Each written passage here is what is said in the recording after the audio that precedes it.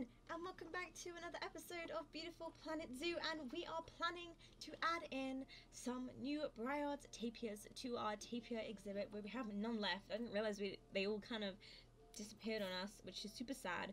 We have a few babies so basically this evergreen zoo here is um, a zoo that I pay on my own but it's like in the middle of maintenance and it's completely bonkers and I've just kind of bought lots of animals I see kind of for this zoo anyway so I wouldn't mind kind of borrowing some of the animals off this zoo off, off of that zoo because we do share the, the conservation credits and everything so it's kind of fair enough. I'm not even that far on that zoo anyway we have kind of the same animals. So I mean Leaf is a Briard tapir that we have from Pixel Plant Zoo. She's one of our first babies that we ever had. And also Splodge. Splodge looks like he's our main male, actually. Would he go well with Leaf? Offspring! Okay, Splodge and Leaf. There we go. That was easy. So, Leaf and Splodge. You two are coming in here. Because this was your habitat from the start, my friends. And they need more hard shelter, the flamingos. So let's give them some.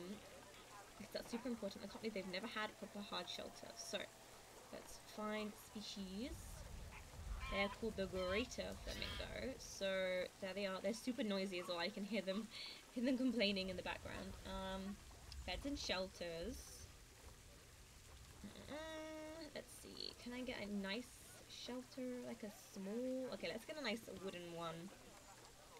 A big, a big wooden one apparently, which we can just like, yeah, mash into the ground stick a tree on the side of it to make it look like it was meant to be there. Maybe some rocks to blend it in with the backdrop and a couple of... I know they don't actually like plants, the, the greater flamingos, but this is like great for them. I'm sure they'll appreciate this. Just having the... um. Oops, I picked the wrong theme. Oh no, there's a serious injury discovered. Let's just pause for a second then. Um, extra big bedding leaves for them. That's going to be so much better for them. And this side is going to be for the tapirs, and that side is going to be for the flamingos. So let's put... Um, I'm actually going to sell this. We don't need this. Where's the Where's the injury? Autumn is injured. Yes, we know. Did we not... Let's see. Autumn, are you put in here? Species. Uh, Bengal. He's a Bengal tiger. See, Autumn. He's in quarantine. Is that not where we wanted him to go? Which quarantine is he in? I don't see him. Doesn't quarantine fix them? I thought the quarantine made them better, but maybe not. Oh, I think it's gone now. There we go. I think it's all good. Um, I'm glad, so glad it stopped raining. Oh my goodness and I think they're much happier with their, well, at least their one basic wooden shelter. We can put another one here. Kind of squish them in the environment a bit. It looked like it was meant to be. All along. Again, with the nice tree. There we go. And do they have two of these? They should probably need two of these things, I think. Because there's a lot of flamingo, like a lot. So let's put another one of these dudes here. Oh, here's our tapir! Oh my goodness! Look how cool this dude is! He's swimming with the flamingos. I'm pretty sure this habitat is meant for him. So he should be pretty happy in here. Like the hard shelter, the long grass. They want a tiny bit more short grass over long grass. But I think that's probably where we've just put down this. Wasn't it? Where we've kind of put down some of the new things. Yeah, there, okay, that was easy. And hard shelter, they have none. So let's look at the Briard tapir hard shelter as well. So species, Briard's tapir. Hard shelter-wise, they want, they're kind of the same as the flamingo. Big old wooden, wooden shelters, like so. Um, oh, this is the big one. Where can I put this? Huh. Yeah, there's not much space, actually. Okay, I'm gonna put one up there. Did that improve things at all? No. But maybe that's because they can't get up there. Oh, there's like a thing where I can see where they can go, right? Yeah, look, they can't even get up there. Oh my goodness. My terraforming is literally awful. Come on, dudes. You need to be able to kind of move around and actually be able to get up here. Because otherwise, what's the point?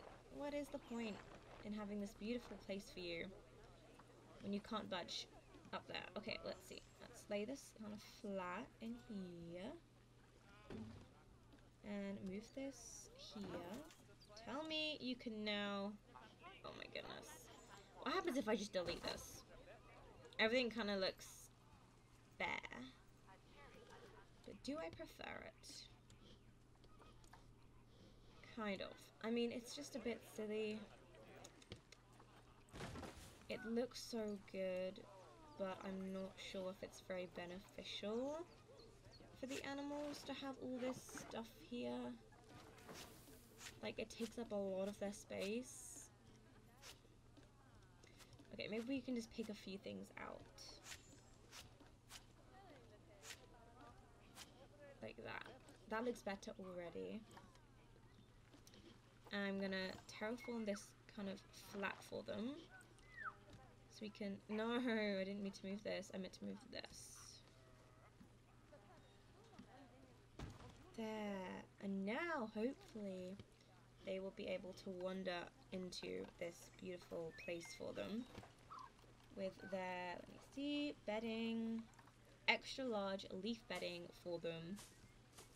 Totally deserve that. It is floating around a tiny bit. Okay, let's just like, pull this up a bit. Smooth this. Put it up a bit. Gently, gently.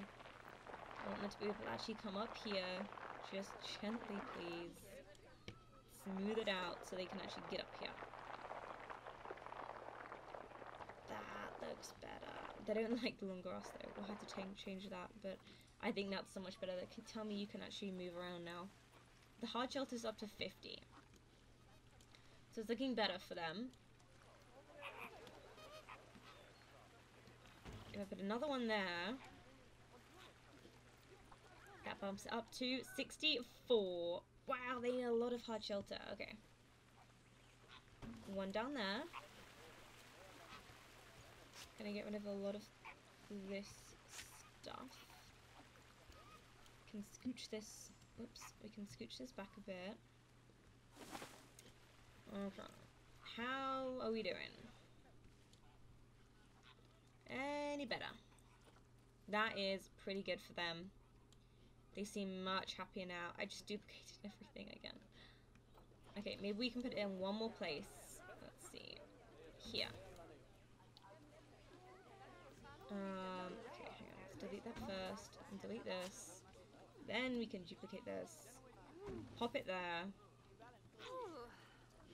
Okay. And then I'm going to get rid of this. I'm going to flatten this out a bit. We have more space. Smooth it out. And then... What's this doing? That's fine. It can stay down here. But then I want like another feeder for them. Here we go. There! I like that's much better. That is so much better for them. I feel so much better. Now they actually have can get to the... I didn't even realize they couldn't get to half of the things that we were trying to give them. That's so bad. Okay. There, that's better, huh? And I'm gonna take this away. Smooth this out a bit. So everybody's kind of happy here. Push this down. Smooth it out. Okay. Oh goodness, it looks so much better. So much better. I can't see what I'm doing. Push this down a bit. Isn't that better? I think everybody's agreeing that that looks so much better. Okay. How about now, buddy? 78. Wait, that was worse than before. I think it's because the flamingos are taking up a lot of the space as well. Um, possibly. Can the, do the flamingos go in, in... Is this what I got underneath a bit here as well? I don't know. I'm confused. But they want short grass instead of long grass. Let's just intense that up. So that, because we've changed a lot of the area, so... It's all gonna be annoyed. And then soil, they want blue roots. Ta-da! See? All better. Fixed it. They're happy for now. And the flamingo, if I can click on one, they're running very fast. Oh, the navigatable swimming area is low. But apart from that, they are happy little geese. They're happy, happy little buddies. Chilling. Okay, smack this out a bit. We're gonna push this out a tiny bit. The Navigatable area is gonna be a bit more for them to swim in. There. This away and push it out a bit. There we go. Is that better for you? Yes, much better. Okay, everybody's happy now. Everybody's happy. The flamingo, we're just adding a bit of rock for the flamingos. There we go. Check on the tapirs. Let me find a tapir. There's a tapir here. Boom. Okay, we fixed it. Everybody's good. I need to mark the tapirs actually as proper as the mean two. Leaf and splodges already yields. Splodges already start. Okay. Woo! We fixed everything. Everything's all good. We still have tapirs and we still have flamingos, so these education boards are still correct for now. Let's check that everything is going alright in our time. Oh goodness. Did I? Oh my gosh. Okay, there's been so much. So much death and so much. Okay. This dude can be released. We have a flamingo here which can be released. Um, this flamingo is a boy and he's gold, so we're gonna mark him as a keeper. Greater flamingo to mark here. She can. Whoops, I didn't add. Nope, I didn't mean to do that. Um, let's see, that's him. This lovely lady can go. Farah, you can go as well, my dear. Have a great life in the wild. I'm sure you'll do amazing at repopulating the beautiful flamingo population, the greater flamingo, although it probably doesn't need any help with repopulating at this rate. I mean, we have so many just in our tiny little habitat. Off you go, my friend. Um, the Nyala Chiku, um, actually, she uh, matured, which is nice. We're kind of getting those, they're, they're kind of new to the to the place, so it's good that they're, reco they're recovering their populations. Wow, we have a giant tortoise who's matured, Chinese pangolin who has matured and is now having offspring. So we obviously didn't do very well there.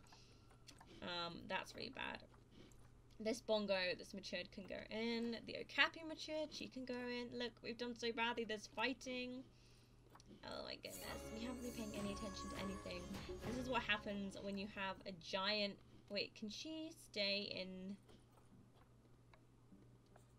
I'm pretty sure she can stay in and just be on contraceptives. I put her away now though, which is a problem. Okay, I can't get her back out. Huckleberry had offspring. Actually, we can if I just let her go and then take her out again. Aldabra Tortoise, he can go. He's in the temporary, temporary thing. Another Nyala, which is matured, a male, so he can go in the box. Oh, is this fighting? Yes, there's already fighting. You can be released. And that was Roberto. This dude can be also be released. They've grown into giant tortoises already. Okay, here we go. So that's that. That's everybody sorted out here, apart from this ninja, who's the ring-tailed lemur. She needs to go back into the lemur pen, and the lemur pen, if I remember correctly, is over this way. Yes, yes, yes. How many lemurs do we have in here? So we have two of these. I can't take the food quality up. And two, three, and a little baby. Okay, we'll keep Ninja in the in the trade center for now.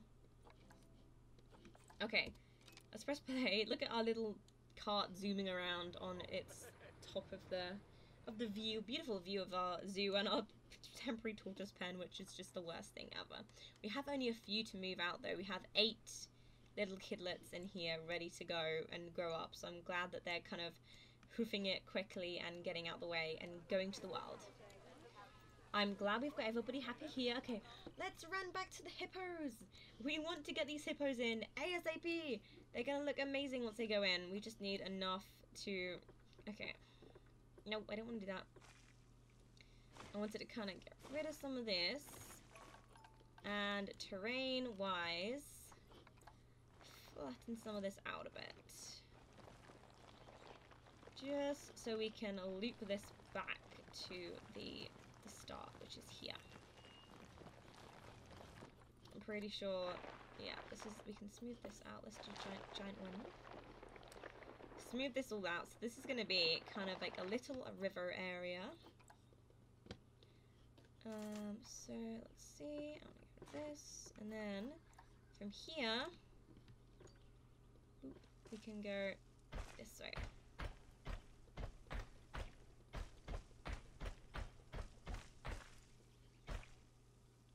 And then, come on. You can do it. Did you attach? Did she just attach? Did Oh, Wait. I think it attached. Does that, does that mean it's a full... Yes. Okay, this is going to be called the Hippo... Hippo Hole. That's a good name. I like that. The Hippo Hole. That's funny. Okay. Um, let's just check. Everything is all good. Oh, wait. Did she have her offspring? I'm waiting. Chippo has matured. Look, you can go to the wild, my dear. Okay. That's all good. We're gonna actually have to, oh my goodness, I don't have time to do this. We're gonna have to go to the next episode, you guys. This is crazy. Okay, we need to, one thing I know we need to do is join up all, like, the water areas. The, the, sorry, the land areas so that the, the keepers can get to that. Because I know it's a big problem that keepers kind of struggle to get to the land areas. So we're gonna just have water in the middle? We can we can push this out and have like the look that the water is on both sides of here. Um, as well as and then we can have like flatten this bit. Oh dear. Hang on, this is not flattening to foundation, this is flattening to something different. Oh dear. Okay, that's foundation. Okay. So let's flatten this out. That'll do. That'll do. I mean, I, am gonna have to sort this out. We're gonna have to do this next episode. Like, look how bonkers this all looks now. It's gone a bit crazy, but I'll see you guys in next episode. Goodbye for now.